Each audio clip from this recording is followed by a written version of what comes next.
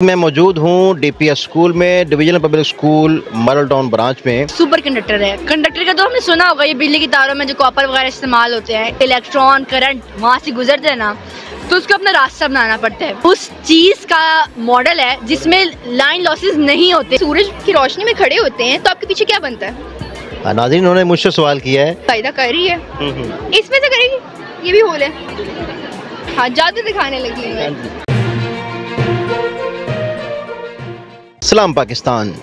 आप देख रहे हैं रिपोर्ट पाकिस्तान। नाज़रीन इस वक्त मैं मौजूद हूँ डीपीएस स्कूल में divisional public school model town branch में और यहाँ पर एक साइंसी नुमाइश जारी है। इस्लाम आ, आपका नाम क्या है? मासूमा नसर। और आप कहाँ से मैं डीबीएस स्कूल से हूँ। जी। अच्छा, ये क्या है जो पीछे आपने लगाया? ये जो आपको नज़र आ रहा है ये क्रिस्टल स्ट्रक्चर है आयरन सेलिनाइड का। आयरन सेलिनाइड एक सुपर कंडक्टर है। कंडक्टर का तो हमने सुना होगा ये बिजली की तारों में जो कॉपर वगैरह इस्तेमाल होते हैं बिजली को एक से दूसरी जगह लेके जाने के लिए। मगर जो सुपर कंडक्टर जो जो होते हैं ना वो भी कंडक्ट करते हैं सुपर कंडक्टर नाम से अंदाजे लगाए जाते हैं बहुत अच्छे कंडक्टर होते हैं। जो हमारी आम बिजली की तारें होती हैं उनमें एक मसला होता है। कि उनमें ना इलेक्ट्रिसिटी ज़ाया हो जाती है। वो इस तरह होती है कि एटम्स हर वक्त इस इस तरह करके ना मूव कर रहे होते हैं। हर वक्त मूव करते हैं। जब बिजली यानी कि इलेक्ट्रॉन करंट वहाँ से गुजरते हैं ना तो उसको अपना रास्ता बनाना पड़ता है। तो वो कभी किसी से टकरा भी जाता है और कभी किसी को साइड पे करेगा, फिर आगे जाएगा। तो इसमें जो होती है ना एनर्जी ज़ाया हो जाती है। इनको हम बोलते हैं लाइन लॉसेज और ये हमारे बिजली की तारों में होते रहते है। ये उसका अपने मॉडल बना के दिखा दिया। ये बेसिकली उस चीज़ का मॉडल है जिसमें लाइन लॉसेस नहीं होते। नहीं होते। तो सुपर कंडक्टर में ऐसा नहीं होता। हर सुपर कंडक्टर में होता। वो इसलिए नहीं होता क्योंकि इनके एटम्स की वाइब्रेशन जो होती है ना मूवमेंट वो ना होने के करीब होती है।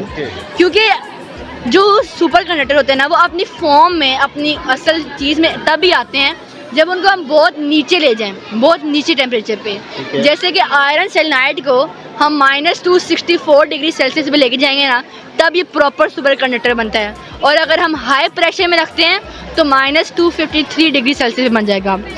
मगर इसका टेम्परेचर तो बहुत लो है। आप कहेंगे कि लैब्स में खाली हो सकता है। मगर साइंटिस्ट को ये अट्रैक्ट इसलिए किया है कि इसका स्ट्रक्चर बहुत सिंपल है। ये देखें जो रेड बॉल्स है ना ये आयरन की हैं वाइट बॉल्स हैं सेलिनियम की। अब गौर से देखिए तो हर रेड बॉल के पास चार सेलिनियम के वन टू थ्री फोर और सेलिनियम के पास भी उसके पास भी चार आयरन है। तो इनका बॉन्ड इतना स्ट्रॉन्ग होता है कि जो लेयर्स बनती है ना, ये एक, दो, तीन, इनके बीच में ये गैप बन जाता है। तो साइंटिफिक थ्योरी है कि शायद आयरन साइनाइड एक सुपर कंडक्टर इसलिए बनता है कि जो इलेक्ट्रॉन्स यानी कि करंट बिजली, वो इनके बीच में से गुजर के चली जाती है। मगर अभी हर तरह के सुपर कंडक्टर पे रिसर्चेस जारी हैं।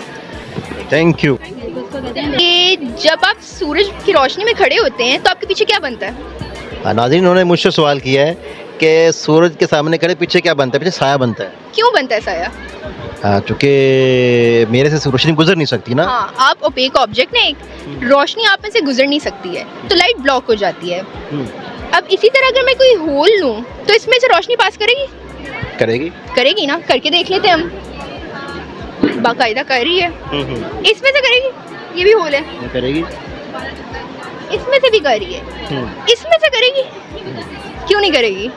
किसी को सुराख नहीं है। सुराख नहीं है। नहीं है। और अगर मैं इसको थोड़ा नीचे लेके आती हूँ जहाँ जहाँ ऑब्जेक्ट था। वहाँ वहाँ शेडो है और उसके ऊपर लाइट कर रही है ट्रैवल ये ओपेक ऑब्जेक्ट है। इसके अंदर कोई सुराख है बीच में? नहीं मुझे तो नज़र नहीं आ रहा। नहीं है। आप भी देख लें। कोई सुराख तो नहीं है? सुराख तो नहीं है? नहीं। नहीं। हाँ जादू दिखाने लगी हूँ मैं। अब अगर मैं इसको रखती हूँ और आप पास जाके देखें जी जी। तो उसके साए में आपको एक डॉट नज़र आ रहा होगा। जी बिल्कुल आ रहा है। तो रखूँ तो इसके साए में मुझे डॉट नज़र आ रहा है। तो वो क्यों है क्या रोशनी इसमें से पास कर रही है? लग तो रहा है।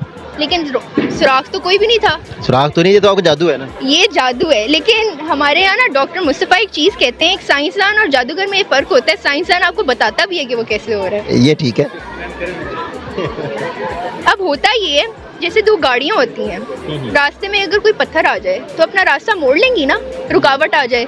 लाइट भी यही चीज़ करती है। जब उसको रुकावट मिलती है ना तो अपने पाथ से बेंड कर जाती है।